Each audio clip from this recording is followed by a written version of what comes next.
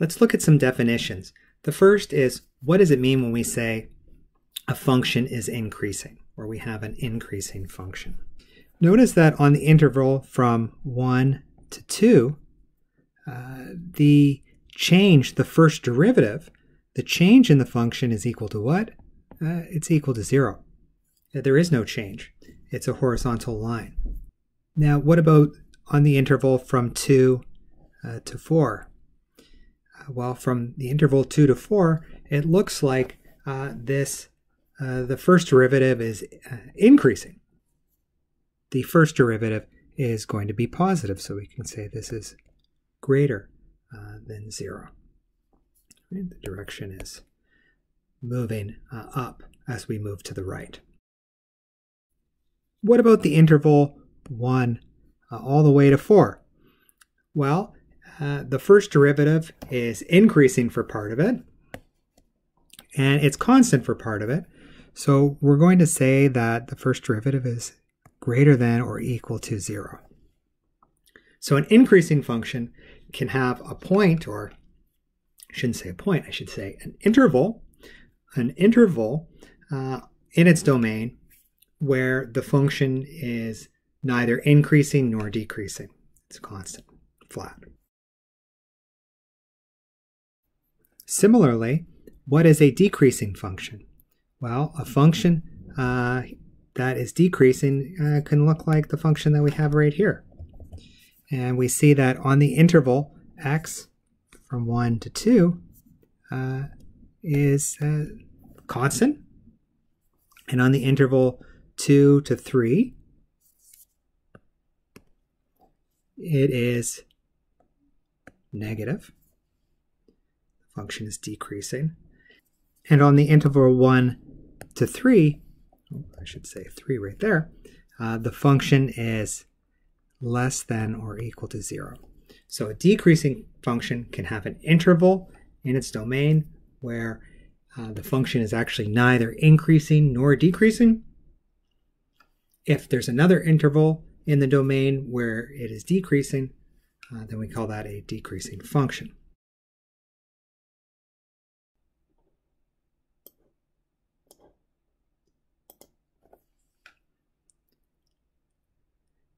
Take a look at the functions in front of you on the slides. One of these functions is a strictly increasing function. The other is a strictly decreasing function. If we consider uh, the interval in the domain uh, from uh, one point to another, and all along that interval, the function is increasing. As we move, as x gets larger, Uh, y is also getting larger, and the graph is moving upwards as we move to the right. Similarly, with a strictly decreasing function, if we look at an interval on the domain, at all points within that interval, the function is decreasing as x gets larger. Then we say the function is strictly decreasing. Here is a summary slide uh, for you to keep in mind, and I've also given you uh, the mathematical definitions. So think about, notice that with the increasing function, we have a greater than or equal to sign, while with a strictly increasing function, uh, it's a greater than sign, no equality. You know, you can see here we've got a flat part, uh, and then we've got a part that's increasing, and so we just say that the function is increasing, even though in some parts it's neither increasing nor decreasing. It's constant. So keep these definitions in mind uh, because uh, they can be uh, quite useful uh, later in the course, especially when we get to the section on optimization. Before we move on to the next slide, I'd like to emphasize that we can define whether a function is increasing or decreasing uh, without using calculus. So uh, the function x2 is greater than or equal to the function at x1, uh, whenever x2 is strictly greater than x1, uh, then that's the definition for x to be increasing on an interval. So we didn't actually need to use calculus. Uh, on the next slide, let's talk a little bit about the first derivative. We can say that if the first derivative is equal to or greater than 0 for all x in some interval i, then this implies that the function f is also increasing in the interval. Notice that our implication arrow is going both ways. So this means that if I tell you I've got uh, a function f that's increasing on an interval, then you know that the first derivative must be greater than or equal to 0. Similarly, if I told you that f is decreasing in some interval, then f prime x must be less than or equal to 0 for all x in the interval i. Each statement implies the other.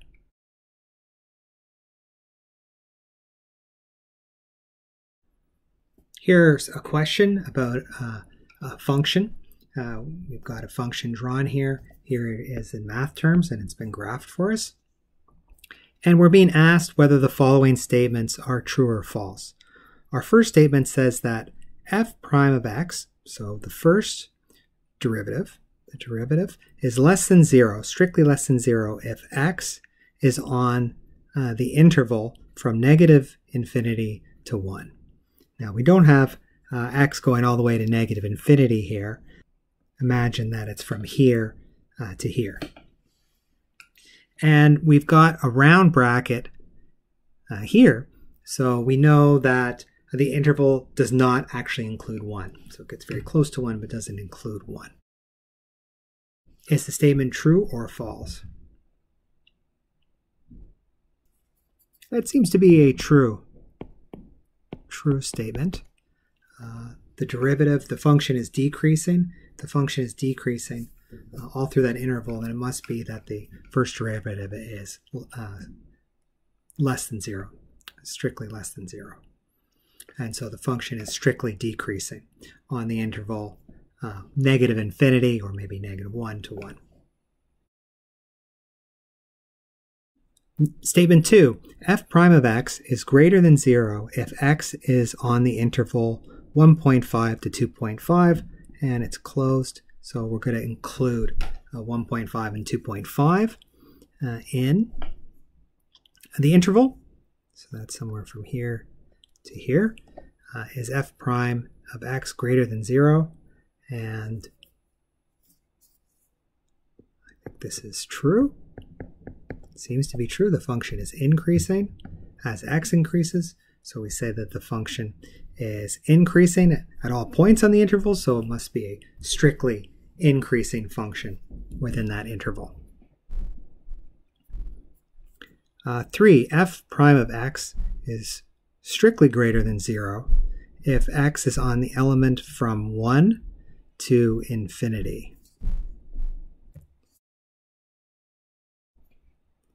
Well, there's a there's points here where the function seems to be flat, horizontal, and then over here, it's decreasing. Uh, so I don't think this statement is true. It must be false. Our next statement, number 4, says that f prime of x is greater than 0, strictly greater than 0, if x is on the interval 1 to 3, including 1 and 3.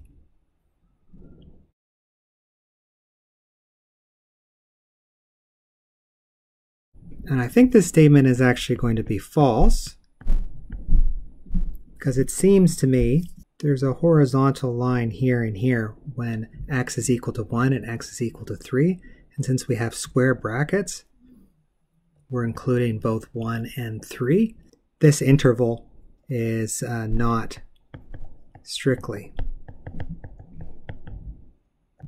increasing. we could say that it's increasing. Uh, we could say that f prime 0 is greater than or equal to 0. Uh, that would be a true statement for number 4. um, but it's not a strictly increasing uh, function on the interval 1 to 3.